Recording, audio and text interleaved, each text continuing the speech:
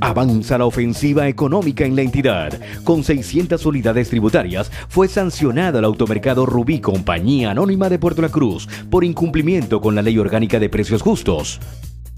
Esta multa equivale a 76.200 bolívares. En el comercio, los productos carecían de etiqueta de precios y solo cuatro de las siete cajas registradoras estaban operativas. Se activó el Plan Eficiencia Mata Cola. Francisco Álvarez, Superintendente Regional de Precios Justos, enfatizó que el sobreprecio en artículos de la cesta básica está prohibido por la ley. La violación a la normativa deriva en la inmediata retención de los productos.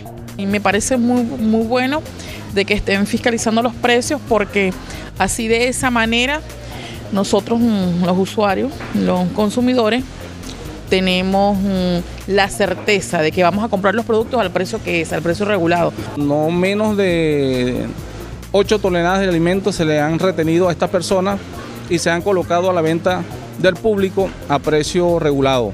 Nosotros seguimos haciendo el llamado a la economía informal. No tienen el permiso para vender estos, estos productos, no pueden vender productos de la cesta básica con sobreprecio.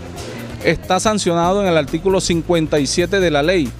Estos operativos están desplegados en los 21 municipios de esta entidad oriental, con el apoyo de los 29 círculos de lucha y los 1.200 inspectores populares.